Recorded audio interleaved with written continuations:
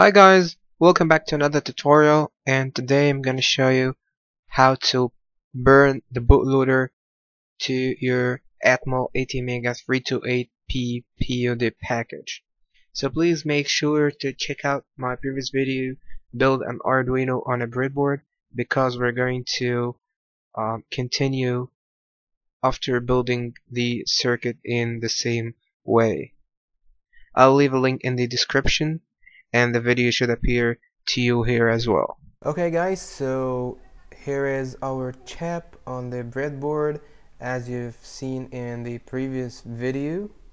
So now what we're gonna wanna do is get our Arduino. So I'm using here Arduino Uno and then what we're gonna do now is just plug it into the computer and open the Arduino um, Studio. Okay, so I have just connected the Arduino. So first things first, you're gonna go to Tools and you're gonna go to Port and make sure you select your Arduino Uno board. And then you're gonna go to Programmer and make sure it's AVR ISP. And then what you're gonna do is go to File, Examples, and then choose Arduino ISP and click on Arduino ISP. So what you're want to do now is just upload this to your Arduino Uno. So we're to go to Sketch and then click on Upload. Okay, so it's done uploading. Alright, so what you're want to do now is just unplug your Arduino and we're to now make the connections. As you can see in this picture, this is the connections made between the Arduino pins and the chip pins. Okay guys, so now let's wire up our Arduino and the chip. So first of all, we're gonna connect pin number 13 on the Arduino with digital pin number 13 on the uh, chip which is actually pin 19 so this is pin 15 16 17 18 and this is 19 and we're gonna connect pin 12 on the Arduino with digital pin 12 on the chip which is actually pin 18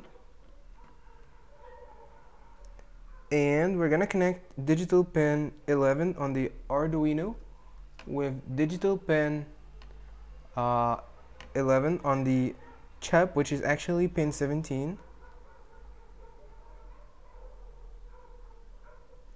and we're gonna connect pin 10 on the Arduino with the reset pin which is pin 1 on the chip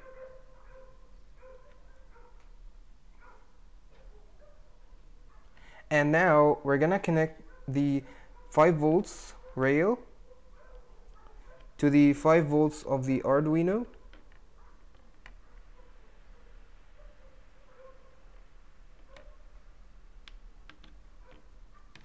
And the ground rail to the ground of the Arduino as you can see. We're gonna connect our Arduino to the computer and now we're gonna go to tools and make sure we select our Arduino board and then go to the programmer and select Arduino as ISP and then we're gonna go to tools and choose burn bootloader